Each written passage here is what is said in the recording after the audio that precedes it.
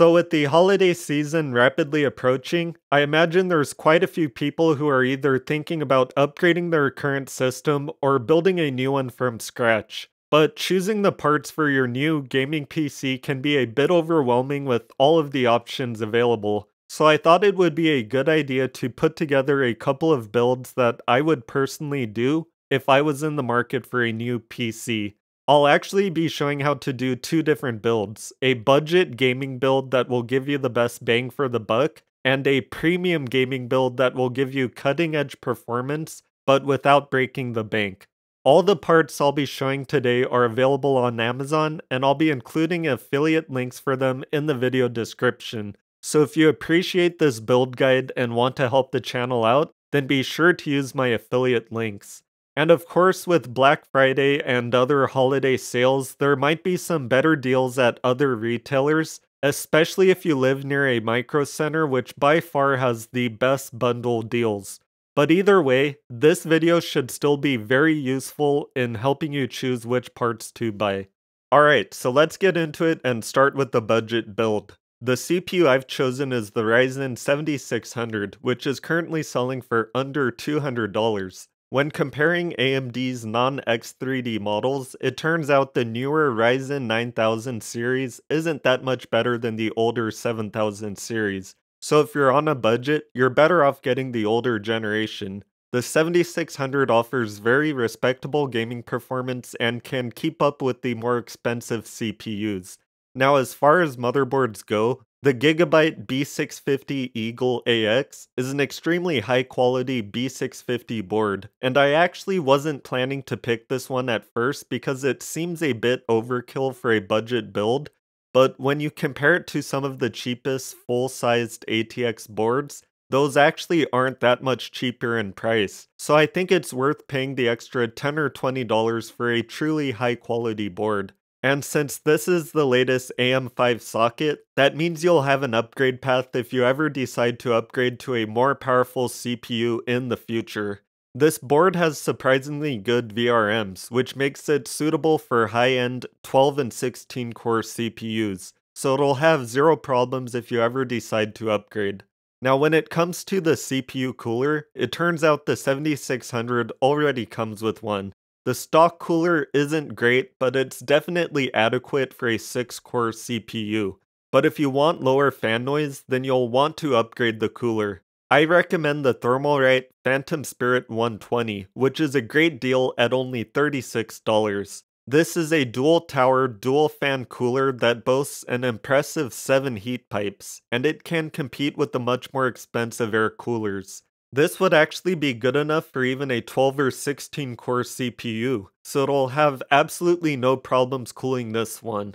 Now, while CPU coolers do come with thermal paste, these usually aren't the best quality, so you might want to purchase a better paste. There's many good options, but personally I use Noctua NT-H2 paste, which offers excellent performance while also being very affordable. Now when it comes to the RAM, I decided to go with the G.Skill Flare X5 series 32 gig kit, which is currently selling for only 83 bucks. These sticks are rated for 6000 MHz, which is the sweet spot for Zen 4 CPUs. Also, 32 gigabytes is plenty for gaming, and will guarantee smooth performance for many years to come. Now as far as SSDs go, I think it's best to go with at least 1 terabyte for the boot drive. B650 motherboards have three NVMe slots, so if you need more storage in the future, then you can easily add more drives later.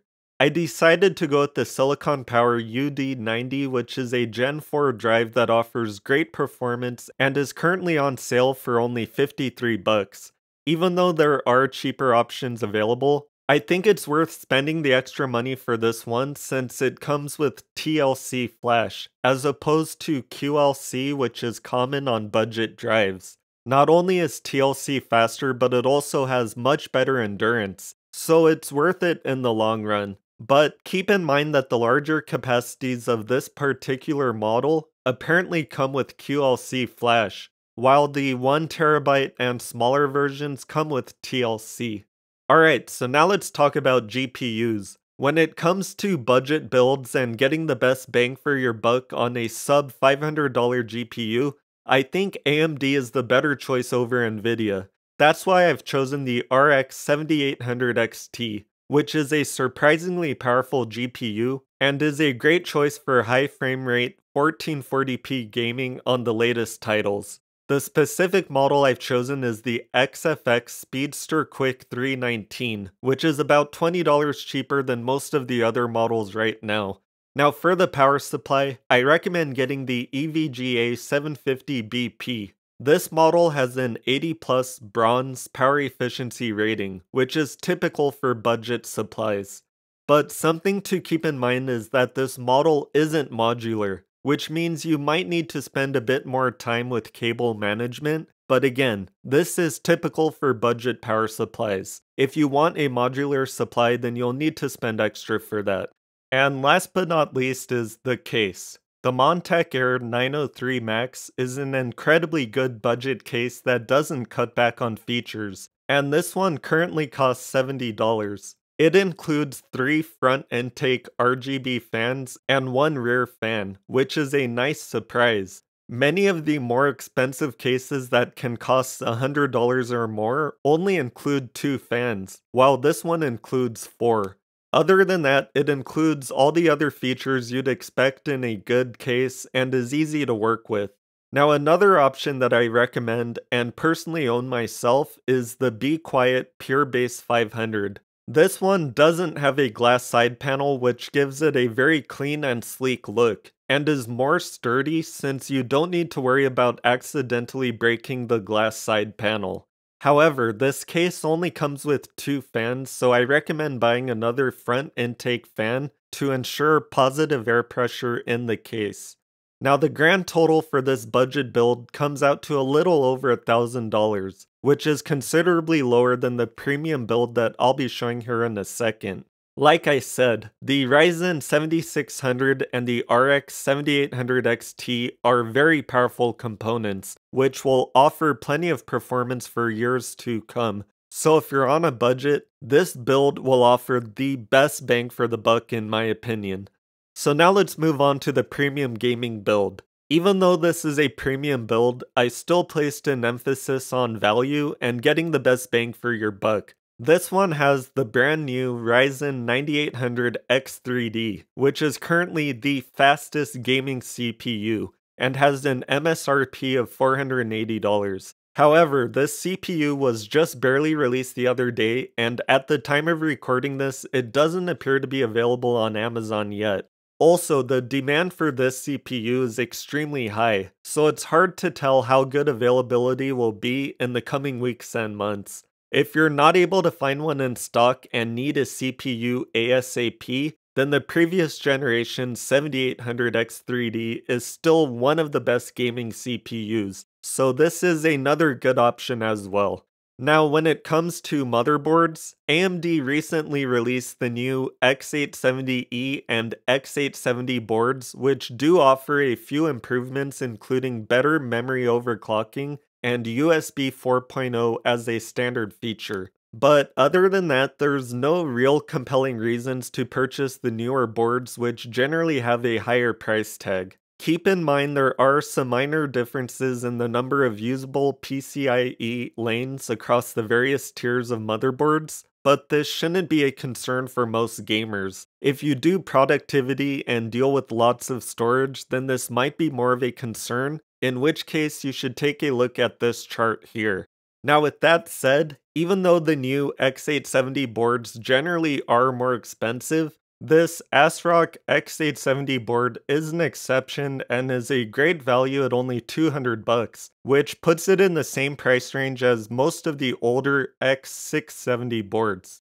Now when it comes to the CPU cooler, I actually recommend the same one as I did for the budget build. I don't recommend getting an AIO unless you have an extremely power hungry CPU, which could actually benefit from the better cooling. Not only are the good AIOs much more expensive, but there's also the possibility that the pump will go bad, or even worse, getting a leak which can ruin your system. These things are rare, but they can happen. That's why I'm a fan of large air coolers. They're more reliable and will last longer than AIOs. And like I suggested for the budget build, I recommend purchasing Noctua NT-H2 thermal paste, which gives excellent performance at an affordable price. Now, as far as RAM goes, although the new X870 boards do support up to 8000 MHz memory speeds, the sweet spot for Zen 5 is actually between 6000 and 6400 MHz, since this allows you to run the Infinity Fabric sync to the memory clock, which gives better latency.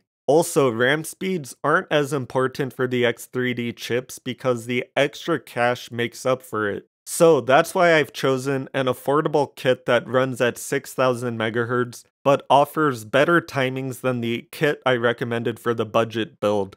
The Team Group T-Create Expert Overclocking 10L can be purchased for less than $90 and offers better timings than other kits in this price range. It's also advertised as being AMD Expo compatible, so it should be plug and play on the AM5 platform without any extra fussing around in the BIOS. Now, if you want to be extra future proofed, you might want to consider getting a 48GB kit. However, it's hard to say whether it will be worth it or not. If you're just gaming, then I think 32 gigs will be plenty for many years to come.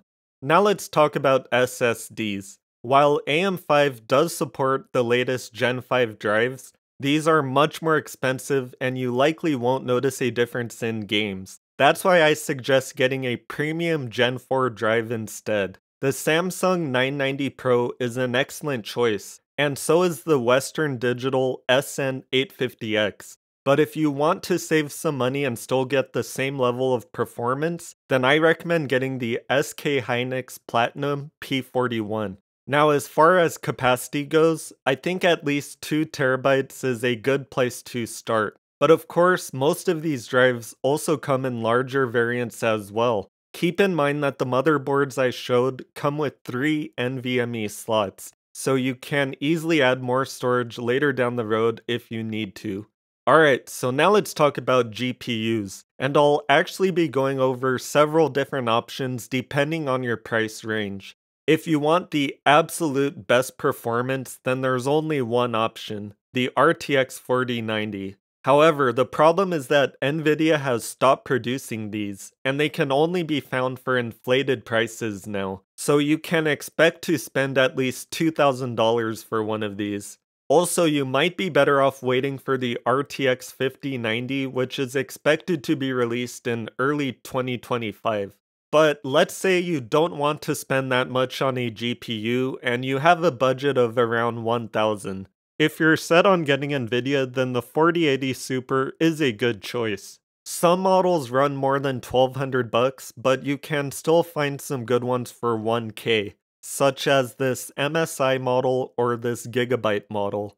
Now if you're looking to save some money, then I suggest going with an AMD GPU.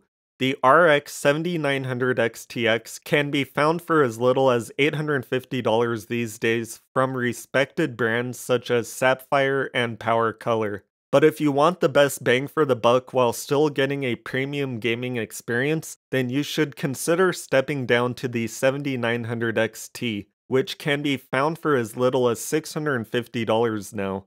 Keep in mind that AMD is also planning to release their next generation GPUs early next year. However, it's been reported that these new GPUs will be around the same performance as their current top tier GPUs, but will have a more affordable MSRP and will likely be more power efficient. But the GPUs I just showed are already heavily discounted from their original MSRP, so it's hard to say whether it's worth waiting for the new generation or not. I don't think you can go wrong either way. Now, when it comes to the power supply, I recommend getting a high quality 850 watt supply, which is more than enough for the GPUs I just mentioned, except for maybe the RTX 4090. It says the minimum recommended supply is actually 850 watts, so in this case you might be okay with the 850 watt supply, but it's generally recommended to step up to a 1000 watt supply minimum.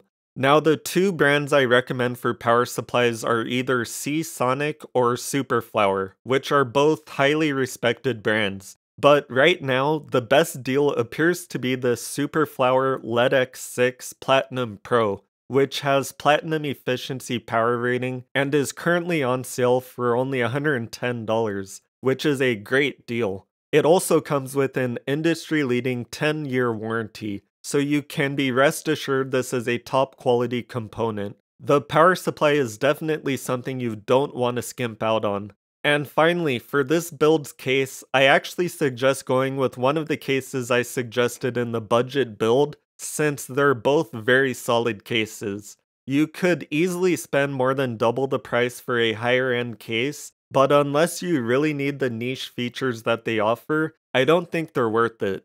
Now, the final cost for this enthusiast system will depend on the GPU you decide to get. If you go with the 7900 XTX, then you can expect to spend just a little over 2 grand for the entire system, which is pretty good all things considered. But of course, you can cut $200 from this price by settling for the 7900 XT, which is probably the better value overall. But either way, no matter which GPU you choose, I think the other parts I suggested will definitely give you the best bang for the buck. And like I mentioned earlier, I've included affiliate links in the video description for all the products I showed, so if you found this video to be helpful, then you can show your support by using these links. Thanks in advance. I was also planning to include a build that's geared towards productivity and content creation, but decided to cut it short and just focus on gaming builds today. But if you'd like to see a follow-up video with a productivity build, then drop a comment and let me know. And if you have any thoughts or questions about the builds I showed today, then feel free to drop a comment as well.